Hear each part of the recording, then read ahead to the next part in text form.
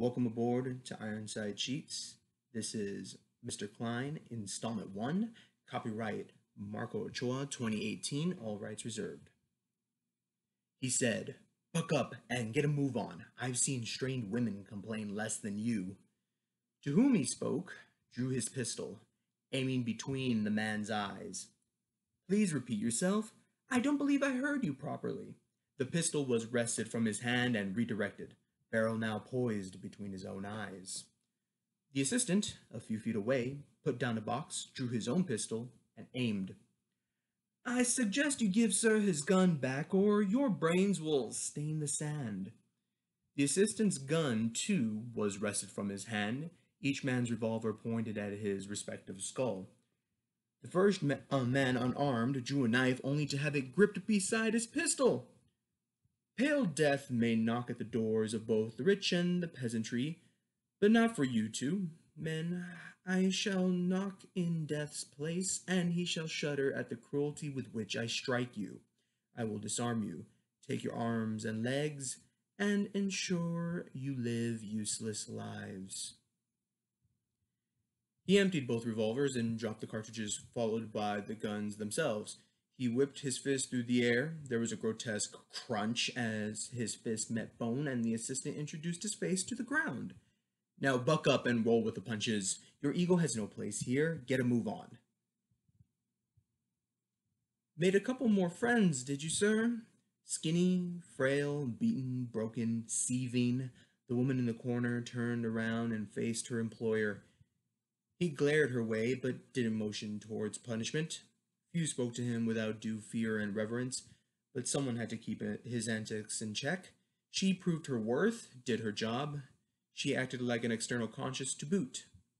He sat down behind his desk and sifted through the, his papers. He hadn't eaten all day, and the resulting headache pounded at the inside of his skull, making it difficult to focus on what any of the paperwork entailed. Bottom drawer on the left. I want I went to the market and got you something. You know that's too much of a risk. You're not in any kind of health to make those kinds of trips. And you, sir, can't get any work done unless you've eaten something. Your work pays my bills and keeps my health in check. You don't work, I don't recover. Get your head out of your ass, sir. After these last few years of working with you, I know how you tick. He rotated his head towards her. Watch your language, Miss Porter. Like you said, I am your employer. I am aware, but you won't fire me. You know your issues, and I help keep them in check. You can't bear to part with me. So, Mr. Klein, get your shoulders from your cheeks and eat. We got well over a dozen new wares to sort out and find buyers for today. She stepped behind him, her shoes clacking on the wood floor, and placed her hand on his shoulder. Her slender fingers formed grooves along his shirt. He nearly shrugged her off, but she leaned in and whispered into his ear. Business is doing well. The problem here lies in your practices and the misfortune they bring. You are making enemies faster than they can be dealt with. I suggest you stabilize the business before you cross a line from which you cannot return. Perhaps, but then what kind of man would I be? Ah, yes, the indomitable moral compass strikes again. I've warned you, Mr. Klein, the more you go along this path, the more difficult it will be to keep business going in the long term. I am aware, but I'm not doing the, all of this for the sake of an empire, Miss Porter. Yes, you keep saying so. Nevertheless, you want the money and the business flow to continue. If you rack up too many enemies before you accumulate stable funds, it won't matter what the purpose of the business is. You won't have any money. Her shoes clacked against the floor as she ambled toward the door. Where, where are you going? To the workers' restroom. The toilet in your office doesn't flush, the handle's loose. She turned the knob and stepped out into the arid day. Mr. Klein peered outside one of his office windows, keeping an eye on Miss Porter. Most of his employers knew that she was off limits, but some either liked to push boundaries or were too new to know. Someone as frail looking as Miss Porter was considered an easy target. He sighed in relief as, minutes later, Miss Porter returned to his office without incident.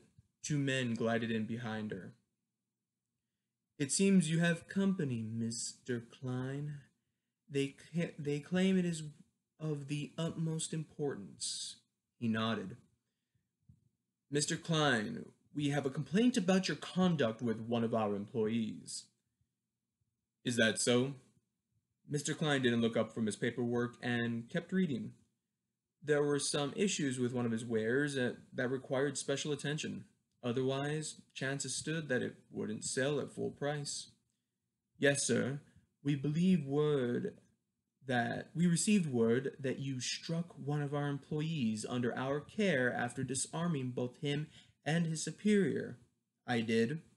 There will be consequences for your actions, Mr. Klein. You may run an incredibly profitable business, but you cannot wield your power boundlessly. Now, now, think about this rationally. Did your men tell you everything about the situation that unfolded? I doubt so. Otherwise, you would know they shirked their work and I chastised them accordingly. Sir, that is hardly reason to let me finish, then you may speak.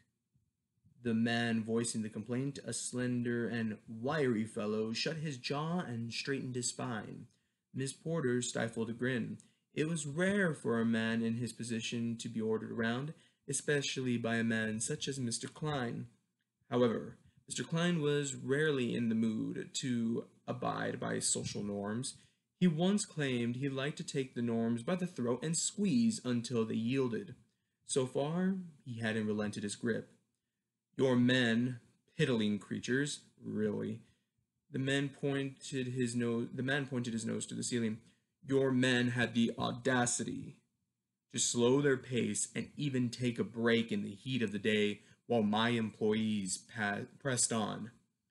I did not hire them to sit around and waste my time and money. Did they tell you that, sir? The man squared his shoulders. No, they did not.